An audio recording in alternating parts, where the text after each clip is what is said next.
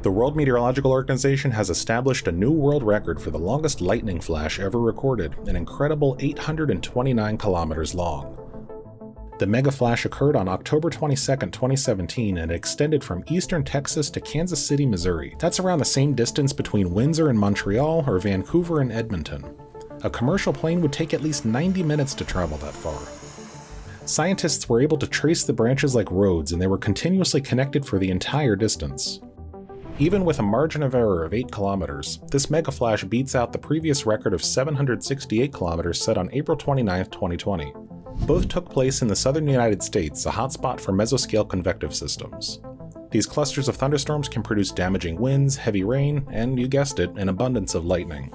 The World Meteorological Organization recognized the new record with the help of the latest satellite technology.